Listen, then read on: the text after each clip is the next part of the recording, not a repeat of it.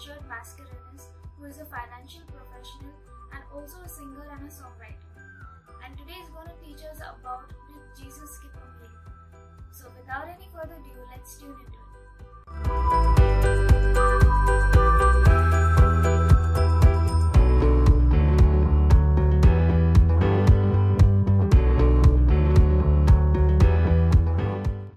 Did Jesus skip a meal? Hi friends, I'm Richard Mascarenhas.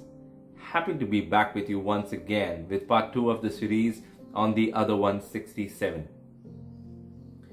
While all of us encounter emptiness, dryness, or low moments in our life, most of us look away from the problem and distract ourselves by looking in the opposite direction.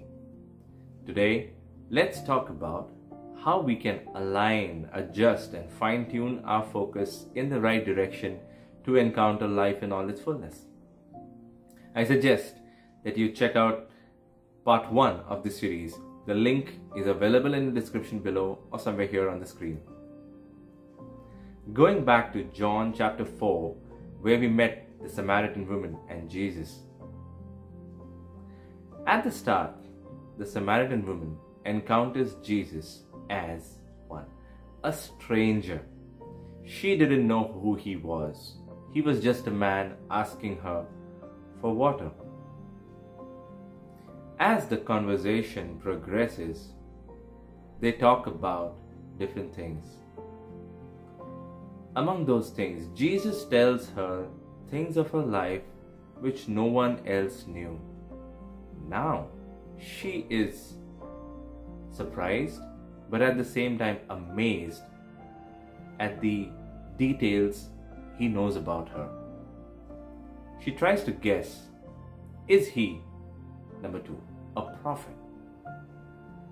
You can see how her perception moves from stranger to prophet. Now she thinks he's a great man.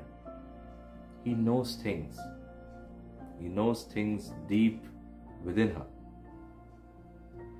They go on further to talk about her convictions and things that she believes in, things that she understands. And he has an amazing way to clarify her understanding.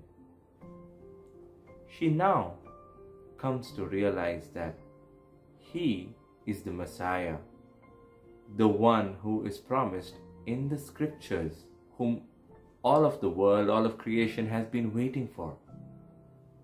Wow, what a revelation.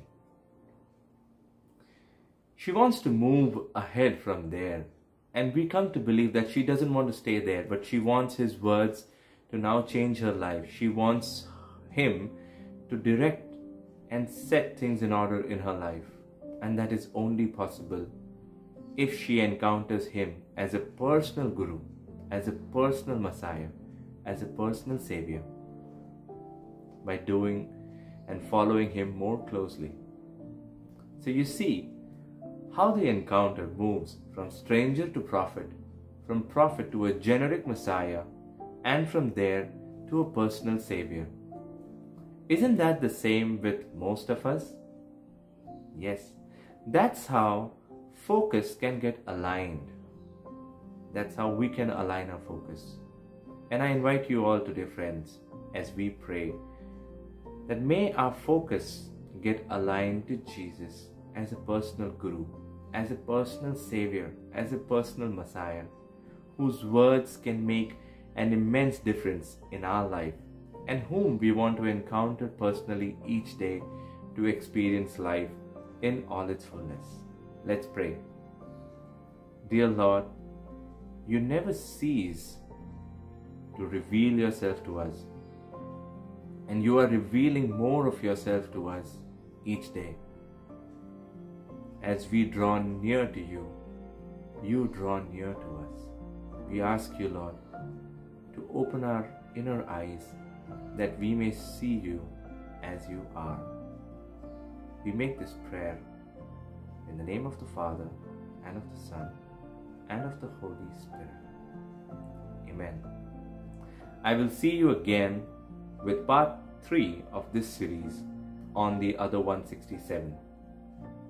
Till then, please do not forget to like and subscribe to this channel. Please share this blessing with your friends and family too.